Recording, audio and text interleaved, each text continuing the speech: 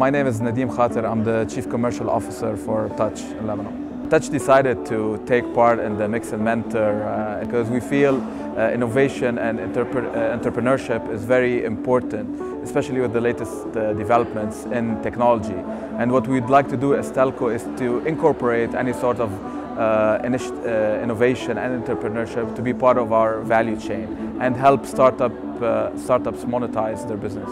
Touch is also keen on, on gauging the market, engaging the latest trends in, in startups and what the entrepreneurs want because uh, Touch is, is willing to, to help these startups and entrepreneurs in their business and putting them part of uh, the, the value chain of telecoms. The major thing that Touch is doing to help the start, startups is opening up its network, mainly from the operator billing side.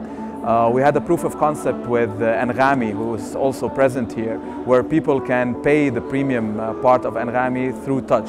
So we opened up our billing systems for people to, for, for these apps to, to withdraw money from prepaid lines and bill postpaid lines to be able to monetize their business as well. And we've also did our own uh, pitch fests and hackathons, which we are planning a phase two that we will communicate uh, soon as well.